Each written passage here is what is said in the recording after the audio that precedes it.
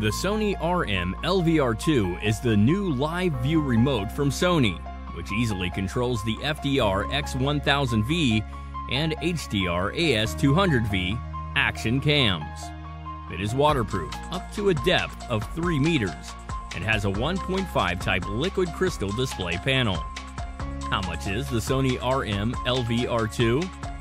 This live view remote for action cams has a price of $149.99. Now let's have a look at some of the main positive and negative aspects. This nifty device lets you control and even watch your action cam via Wi-Fi when it's strapped on your wrist. What makes it even more of a great deal is how it is shockproof and waterproof, so it can be used on your adventures definitely a perfect companion for your action cam. Here's our conclusion. There is one action cam accessory that you should definitely have. It would be the Sony RM-LVR2. Thanks for checking out our review. To find out more about this product, click on the link below this video now.